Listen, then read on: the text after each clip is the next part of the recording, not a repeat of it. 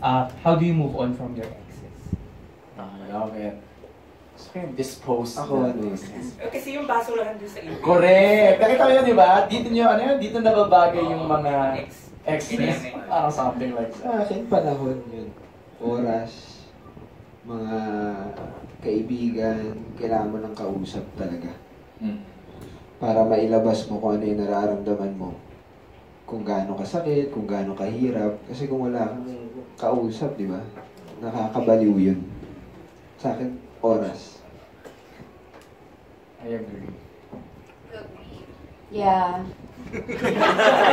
Saka ano, um, forgiveness muna sa sarili.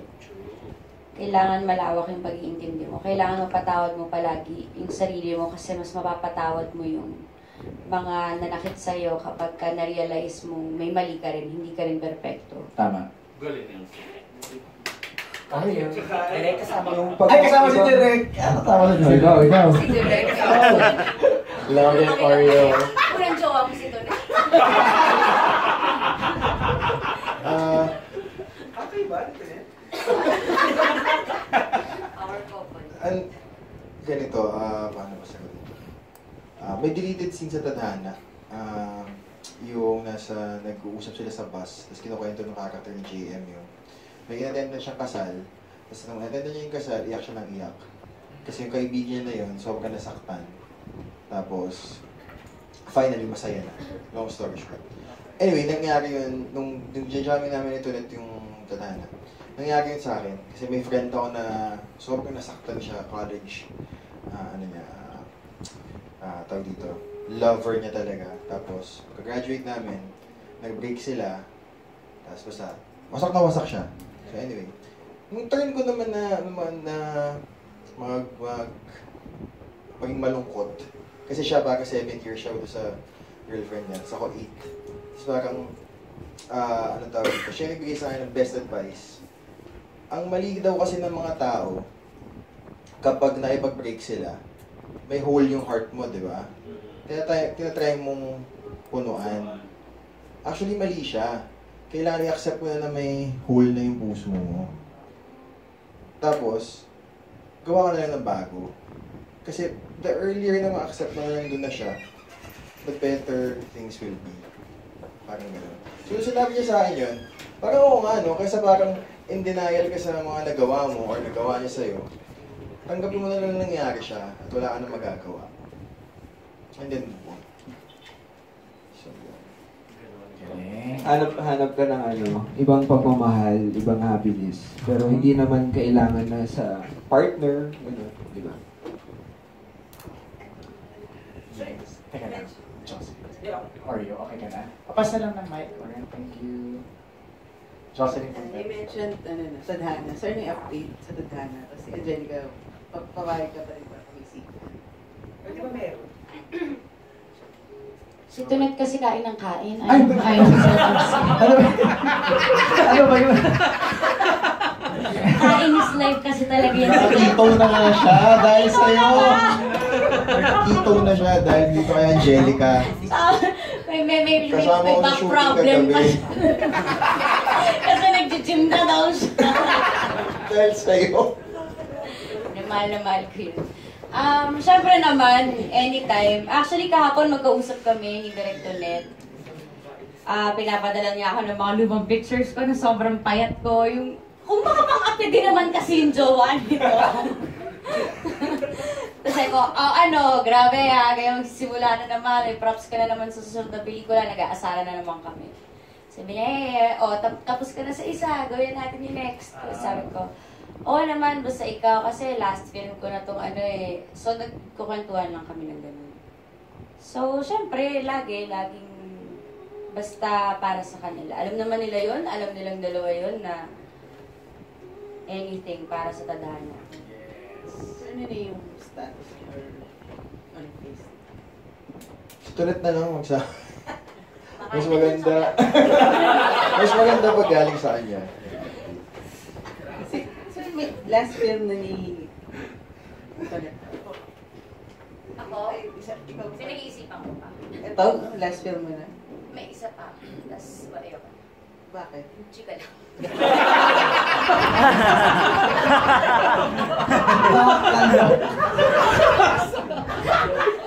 Ang tahimik eh. Nag-aabang eh. Nag-isip ka rin mo mag-retire? Para may gusto Naisip mo na rin ba ang retirement? Surprise ko na lang. It. Jocelyn. Ah, tapos, sir, may mga ano rin ba? Tapos, basically, tapos na yung film, tama po ba? So, may mga eksena rin bang deleted?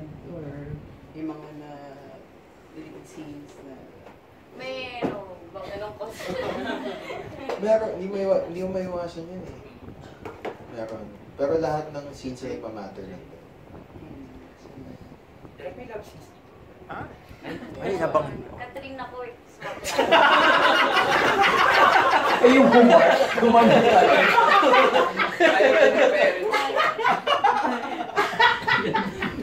Jocelyn, okay ka na sa mic. Thank you. Kasi gusto namin magkaroon pa ng isang film para sana next film medyo ano na, torrid kissing.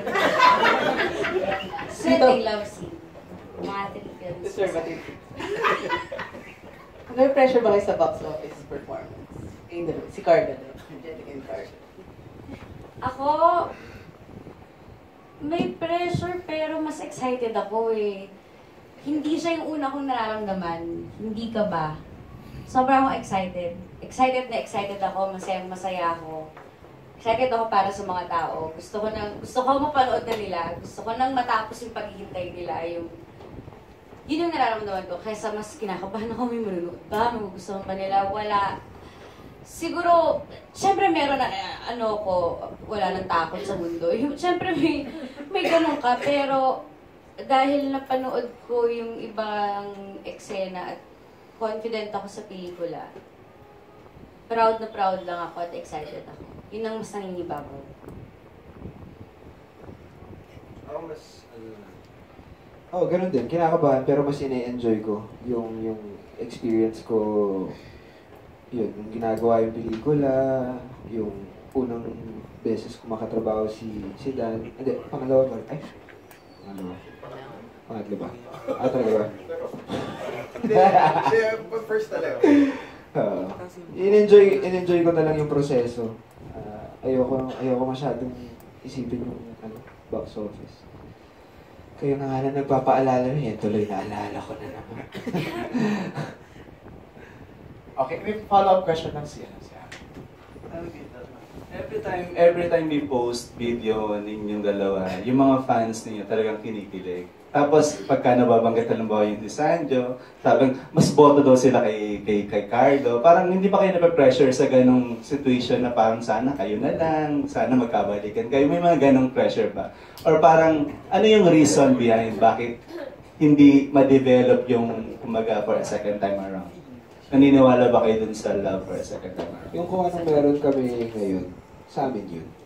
Yung mga ibang sinasabi ng mga taong nasa labas, yung mga hindi namin kaibigan, o yung mga nagko-comment lang, ganun. But hindi na namin iniintindi, hindi na namin iniisip. Basta okay kami, masaya kami. Okay. Same sentiment. Same sentiment. Any more questions? You can, you can interview even after this. Meron pa ba? Wala na, wala na. Ito Maridol, you want? Curious lang ako. In, in general, anong take ninyo sa pag ah, second chances in love? Yung, yun, in relation, romance, is, Is love really lovelier the second time? Or what third na Is sila second chances siguro in love? Ah, posible ba yun? Ako kasi nung una hindi, no, no, no, gano'n. Pero nung, alam nyo, hindi to showbiz na sagot. Nung ginawa ko yung Playhouse, kasi ang story ng Playhouse is about second chances. About mag-ex, na gusto mapagbalikan ng ex, diba? Ayaw makipag-anal, ah, pinipigilan. Doon ko, nung, kasi malayo na yung tinatakbo ng show namin sa napapanood nyo ngayon, nasa mga week 8, 9 na yung sinushoot namin ang dami kong realizations talaga nung habang tumatawid yung show, ang dami kong natututunan na yung second chance pala binibigay hindi lang sa ex, sa lahat ng tao. Lahat ng chances pala dapat paulit-ulit mo lang binibigay sa lahat ng nangangailangan. Huwag kang mapagod. Kasi huwag kang susuko sa isang tao hanggat hinihingi na yun sa'yo dahil manalig ka, gusto niyang magbago, gusto niya ng tulong, kailangan niya ng tulong, kailangan ka niya. So, I, I don't think dapat mag-give up tayo sa mga taong gusto magbago at humihingi ng panibagong pag-asa. Kung meron, bakit hindi, di ba? Bakit mo pipigilan na pumasok yung pagmamahal sa buhay mo? Eh, isa sa mga pinakamasarap na pakiramdam yan sa, sa buhay. Yung, yung pagmamahal.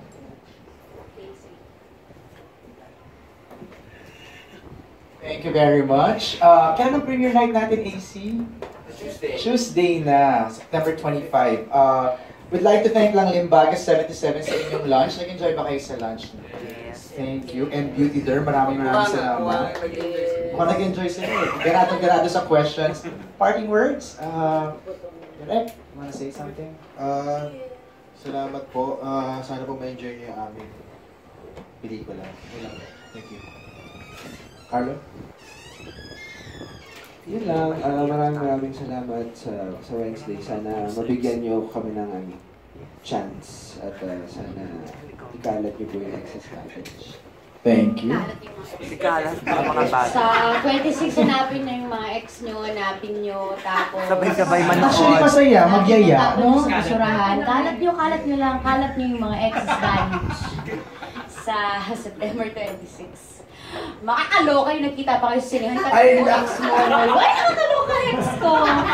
Ang landi mo nun, ten, dahil mo naging jowa nun kung ganun. Maya maya, ang dami mong ex, nakikita mo sa sinihan. Aliwat kanan eh, no? Ka, ang dami yung ex. Thank you. Let's have photo up. Tayo lang Thank po, you, maraming please. salamat. Para